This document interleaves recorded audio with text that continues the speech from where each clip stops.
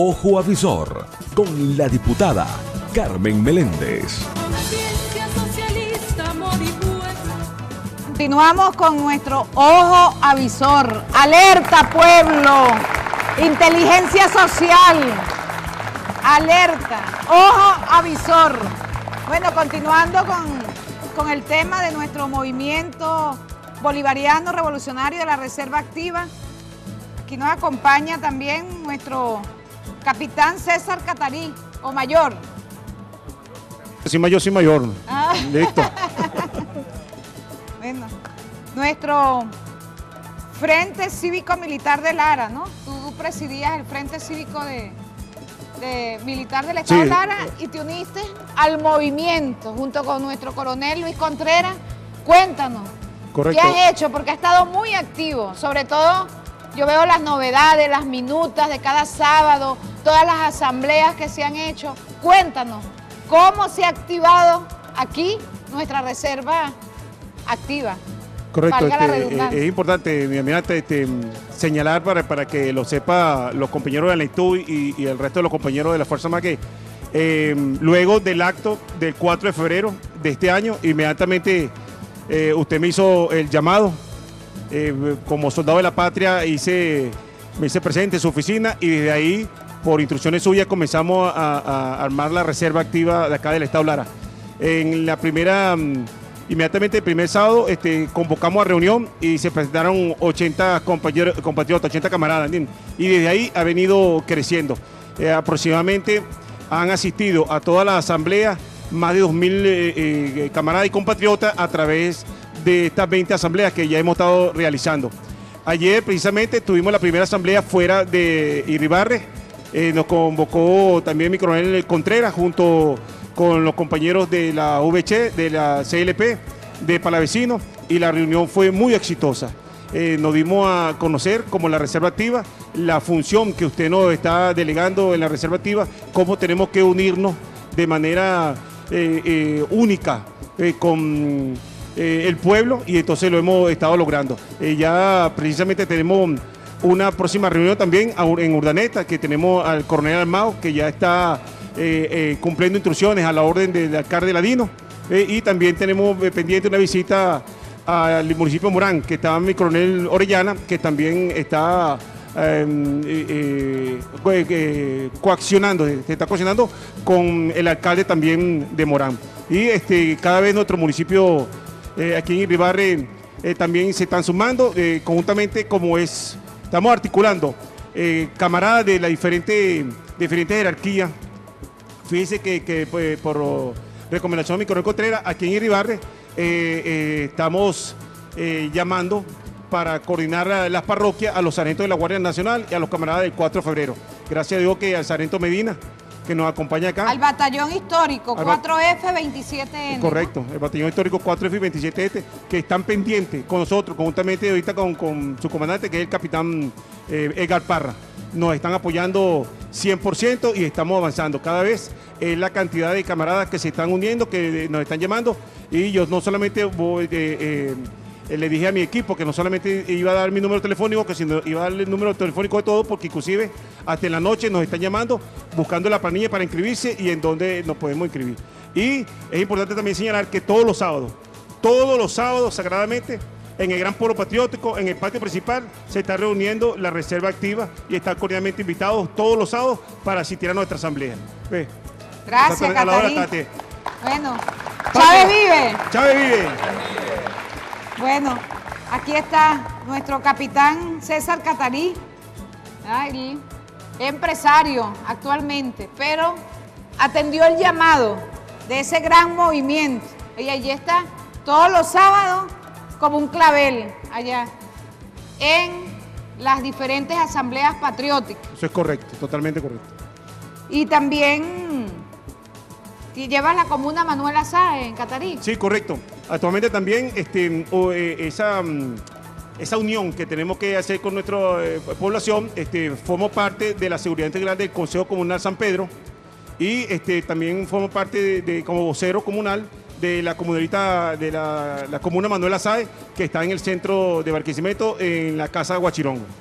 Bueno, ahí está, el movimiento que nació, que llegó para quedarse y seguir trabajando por nuestro pueblo, asumiendo tareas del llamado que hizo nuestro comandante en jefe y vamos a seguir trabajando. Y con todo esto que nos aprobó, yo quisiera que nuestro general de la UNEFA nos diga cómo vamos a trabajar aquí para esa formación a nuestro pueblo.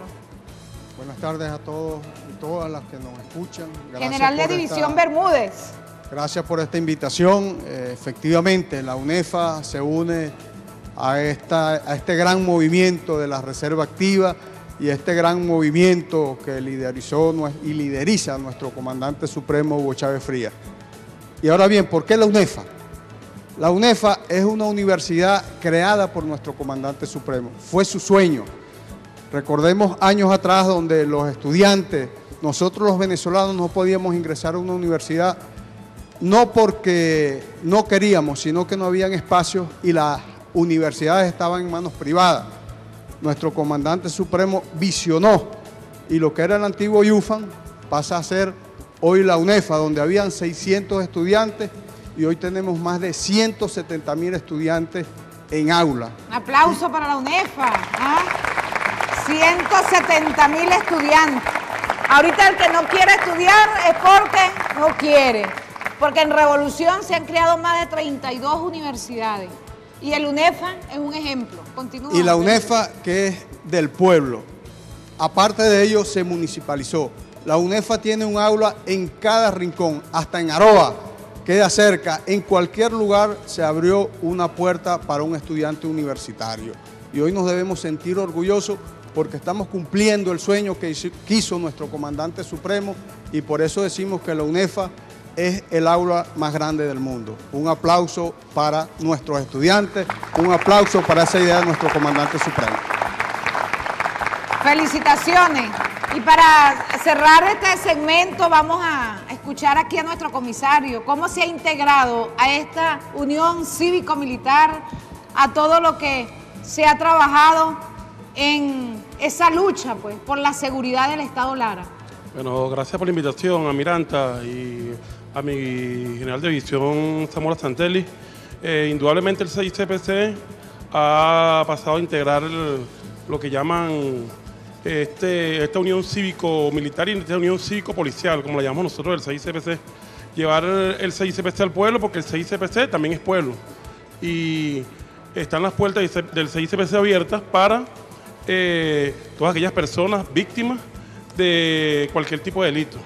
Eh, hemos pasado a defender la patria, más que todo en el Estado Lara, eh, integrándonos a todos aquellos, a todas aquellas, a todos aquellos operativos, a todas aquellas eh, operaciones de OLP, operaciones de liberación del pueblo, dictadas por nuestro comandante presidente Nicolás Maduro Moro, y que hemos venido implementando desde la SODI aquí en el Estado Lara, conjuntamente con la Guardia Nacional Bolivariana, y hemos hecho operaciones quirúrgicas y precisas para darle respuesta a este pueblo que de Lara que bastante lo reclamaba. Bueno, gracias. Aquí está la Unión Cívico-Militar con todos los organismos de seguridad del Estado. Seguimos trabajando, avanzando. Aquí, Unión Cívico-Militar, el pueblo con nuestras Fuerzas Armadas, nuestros organismos de seguridad del Estado para la defensa integral de la patria. Estamos acechados actualmente. Tenemos amenazas externas y amenazas internas. Porque ¿cómo se concibe que un venezolano vaya afuera a desprestigiar al país, a facilitar una intervención? Eso es no querer a la patria. Por eso es que cuando nosotros le decimos a esos que van afuera a desprestigiar a la patria, a facilitar una intervención, que son traidores, que son traidores. Vamos a ver un video de un compañero, colega diputado, que en los últimos días ha viajado por el mundo a hablar de Venezuela. Adelante, video. Ojo avisor. Le solicitamos como Parlamento a la Organización de Estados Americanos, basados en el artículo 3 de la Carta Democrática que define lo que es la democracia representativa en el continente, que se active el artículo 20 de la Carta Democrática y el día de hoy el secretario general de la Organización de Estados Americanos ha presentado un informe y ha solicitado y ha recomendado la activación de la Carta Democrática Interamericana para proteger al pueblo venezolano, para lograr proteger a nuestras madres, a nuestros niños que no tienen pañales, a las personas que no consiguen medicamentos, aquellos enfermos de los hospitales que no tienen cura y aquellas personas que lamentablemente no están teniendo justicia en Venezuela. Esa es la voz que alza hoy la Organización de Estados Americanos. Y sí quiero responderles, los traidores a la patria son los que le niegan a los venezolanos los medicamentos y los alimentos. Nosotros somos defensores de la patria y estamos defendiendo a Venezuela en el concierto internacional. Y de eso se trata esta lucha, hermanas y hermanos. Este parlamento se ha levantado, este parlamento ha levantado su voz en el mundo y este parlamento no se sienta más hasta que logremos liberar a Venezuela de las cadenas del oprobio, de las cadenas de la pobreza, de las cadenas de la escasez. Ojo avisor. Ese es un venezolano. ¿verdad? Todo, todas las leyes tienen el apellido de crisis humanitaria para facilitar, pues, facilitar. Nosotros no hemos negado en ningún momento que tenemos dificultades. Nuestro presidente, si no, no se hubiese activado la agenda económica bolivariana, el decreto de sección y emergencia económica.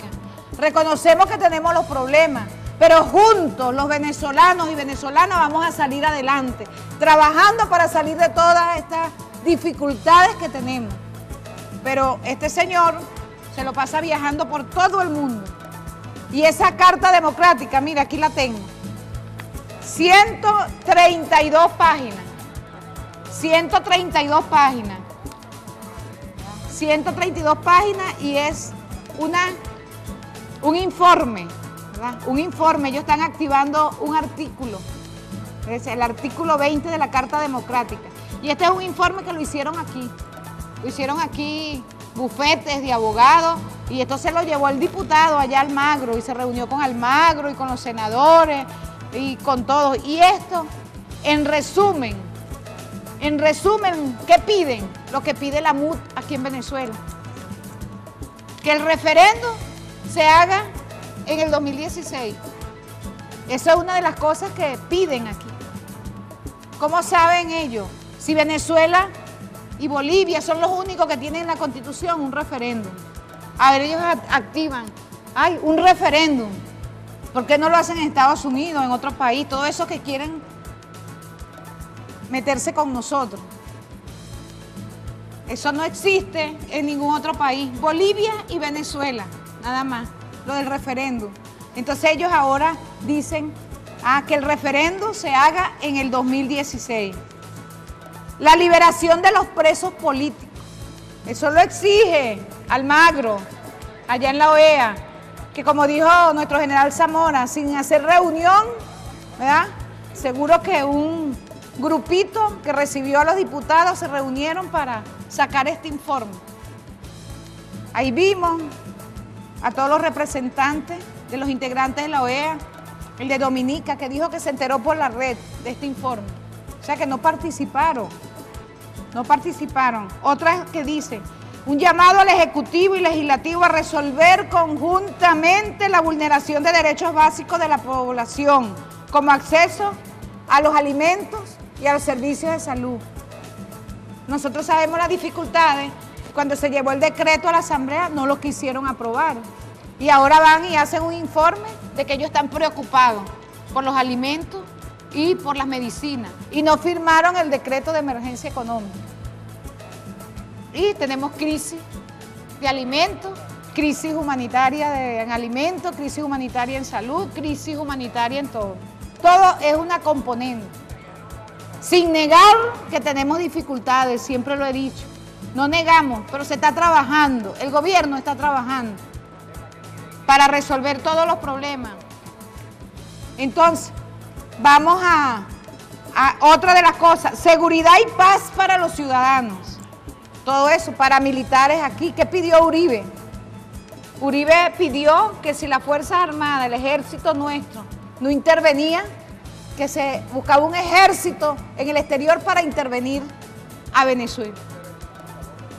Que si no intervenían a favor de la oposición, de la, que venía un ejército extranjero a proteger a la oposición.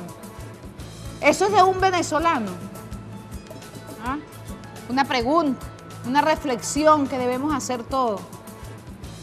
Por más problemas que tengamos en el país, no podemos traicionar a la patria. Aquí tenemos que estar preparados para defender a nuestra patria. Aquí no vamos a aceptar ninguna bota, injerencismo de nadie que venga desde afuera. Por eso está ya las primeras reuniones del diálogo, donde están interviniendo unos expresidentes, pero no los expresidentes estos que, que vienen confabulados con la MUT y que ya han venido a la Asamblea Nacional, que pidieron la ley de amnistía que pidieron un montón de cosas que tienen que ver con lo mismo, como si fueran parte de la MUT. Vinieron los presidentes, expresidente Rodríguez Zapatero, el expresidente Torrijos de Panamá, Zapatero de España y de República Dominicana, Leonel Fernández. Y se hicieron las primeras reuniones, pero cada vez que hay un acercamiento para el diálogo, para hablar lo que ha pedido nuestro presidente, le dan la patada a la mesa. Pasa algo. Aquí no, como lo dije inicialmente, estaban reuniendo y nos pasó lo de la el asesinato, vi el asesinato de nuestro general en jefe, Félix Antonio Velázquez. Y la Carta Democrática. Este Almagro tiene una obsesión con Venezuela. Almagro no va a mandar en Venezuela, que vaya a mandar en su país y que es un títere del imperio. Entonces que vaya por allá. Aquí no necesitamos a nadie que venga a meterse en nuestros asuntos. El diálogo, bienvenido. Uno quisiera creer que si va a haber diálogo, que nos vamos a entender. Ojalá porque los venezolanos y venezolanas lo que queremos es paz, no queremos violencia, no queremos intervencionismo, no queremos injerencia. O ellos creen que cuando venga una bomba o que cuando venga cualquier cosa va a ser puro para los revolucionarios, para los chavistas. Aquí vamos a sufrir todos los venezolanos y venezolanas. Vemos un ejemplo cercano de los últimos años, Siria, Libia. ¿Qué hay allá? Destrucción, muerte y violación de los derechos humanos. Eso es lo que vemos en esos países donde han intervenido. Nosotros no queremos eso para Venezuela. Por eso nosotros tenemos que seguir luchando, cada día más unidos, cada día preparándonos más porque no vamos a permitir injerencia de ningún tipo. También ellos decían cumplimiento de los preceptos constitucionales en este informe. Nosotros estamos cumpliendo con nuestra constitución. Nuestra constitución es la madre de todos los derechos y la defendemos a diario. Otra, conformación de un nuevo Tribunal Supremo de Justicia entre el Ejecutivo y la Asamblea Nacional. Hay que hacer lo que ellos quieran. Aquí hay que respetar a todos los poderes. Aquí hay que respetar a todo lo que se ha elegido y tienen un tiempo. Así como nuestro presidente fue elegido por seis años. Ustedes se acuerdan lo que pasó en el 2002, ¿verdad? 47 horas duró nuestro comandante Chávez secuestrado. Pero el pueblo y las Fuerzas Armadas unidos rescatamos a nuestro presidente. Y aquí nosotros vamos a respetar a nuestro presidente porque él fue elegido para seis años. A cumplir con la constitución. Los derechos humanos y comisión de la verdad. Ellos fueron invitados a la comisión de la verdad, dejaron la silla vacía. Ellos han sido invitados. El presidente les ha dado la mano, pero no quieren no quieren participar porque ellos estaban era confabulando para hacer este informe. de 132 páginas, donde lo que dice lo que ellos hablan y denuncian diariamente, allá en la, en la Asamblea Nacional y todo. Crisis humanitaria en el país. Facilitar intervención. Nosotros no queremos intervención y por eso hoy vamos a marchar contra el injerencismo. Vamos a marchar en rechazo al secretario de la OEA, que tiene una obsesión con Venezuela. Lo decía nuestra canciller, nuestra valiente canciller Delcy Rodríguez. Más del 45% de los Twitter que ha enviado Almagro en este año es contra Venezuela. ¿Cómo aparece nuestro presidente en todas las páginas principales de los periódicos del mundo? En las editoriales. Somos muy importantes. Aparecemos en todos lados. El injerencismo por todos lados. Y esa es una matriz de opinión internacional. Además de la guerra económica, la guerra psicológica y la guerra comunicacional. Cuarta y quinta generación. Pero nosotros aquí vamos a resistir, junto a nuestro pueblo, vamos a resistir todas esas amenazas, descubrirlas a tiempo y neutralizarlas. Por eso debemos estar ojo avisor. Vamos a un corte y continuamos con ojo avisor dentro de un minutito. Ojo avisor. En un año de actuación del secretario general Luis Almagro, yo voy por favor a pedir al, al equipo de apoyo, se ha dedicado a una campaña de hostigamiento contra Venezuela, a una campaña en connivencia con factores locales que piden la intervención de nuestro país en una clara posición apátrida. Traicionan el proyecto nacional de nuestros libertadores, del libertador Simón Bolívar. Traicionan el legado histórico de valentía del pueblo de Venezuela que dio su vida para defender la independencia y la soberanía de nuestra patria. Solamente, ahí está, en el año 2016 de la cuenta Twitter del señor Almagro, solamente 99 tweets fueron producidos.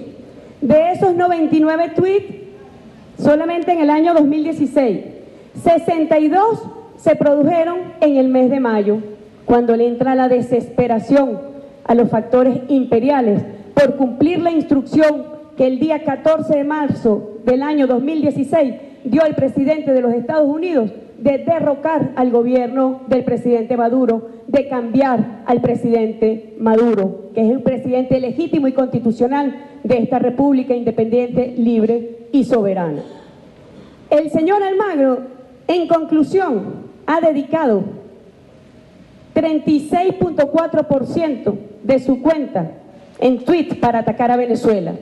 ¿Y cuántos estados hay en la Organización de los Estados Americanos? Ah, pero él se dedica a hostigar y agredir permanentemente a Venezuela. Ojo avisor.